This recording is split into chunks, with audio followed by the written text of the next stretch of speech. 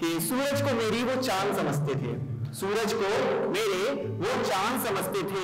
नाकामी को मेरे फतेह और मैदान समझते थे। ज़मीन को मेरी वो आसमान समझते थे। हकीकत को मेरी वो एक दास्तान समझते थे। एग्जैक्ट जब आप किसी को अपनी स्टोरी बताते हैं, वो बस ये सोचता है कि यार तुम तो रोना धोना स्टार्ट कर देते हो।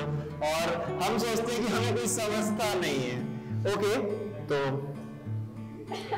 पराया कर वो मुझे समझते थे।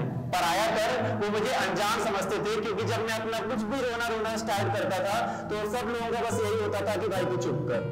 ओके तो पराया कर, मुझे वो अनजान समझते थे, तोड़ा दिल कुछ इस कदर शायद बेजान समझते थे। तोड़ा दिल कुछ इस कदर शायद बेजान समझते थे, चाहत क्यों बाकी है इस सीने में तो सुनो। चाहत क्यों बाकी है इस सीने में तो सुनो।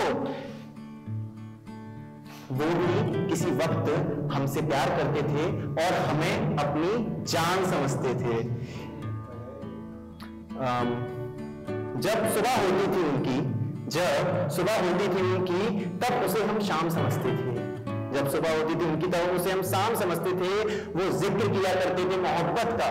वो ज़िक्र किया करते थे मोहब्बत का और हम उसे अपना नाम समझते थे। और वो ख्वाहिशें करें कोई।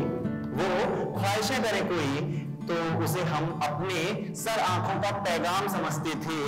मोहब्बत जब हुई थी, मोहब्बत जब जब हुई थी, तब भी हम उसका अंजाम समझते थे। मोहब्बत जब हुई थी, तब भी हम उसका अंजाम समझते थे। एक बार दिलासा दिया उन्होंने, एक बार जो दिलासा दिया उन्होंने, कि लोग कहते हैं ना जो झूठे वादे करते हैं तो बट ऐसे दिलासा समझ सकते हो आप। तो एक बार जो दिलासा दिया उन्होंने, हम तो उसे खुशी खुशी का पैगाम समझते थे। सूरज को मेरी वो चाँद समझते थे। Thank you so much